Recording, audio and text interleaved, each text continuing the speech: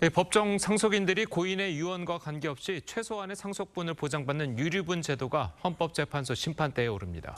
시대 변화에 따라서 폐지돼야 한다는 주장과 유족들에게 최소한의 보장은 필요하다는 주장이 맞설 것으로 보입니다. 윤슬기 기자의 보도입니다.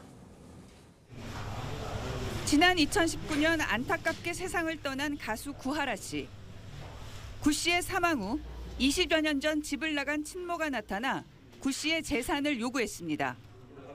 비난 여론이 들끓자 이 같은 경우 상속을 제한하자는 이른바 구하라법이 추진됐습니다.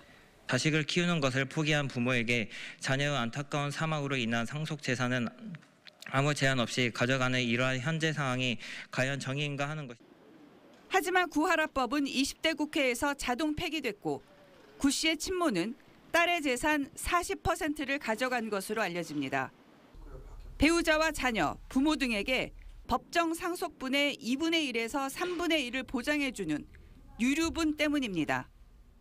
유류분 관련 소송이 잇따르면서 헌법재판소가 오늘 유류분의 위헌 여부를 따지는 첫 공개 변론을 엽니다.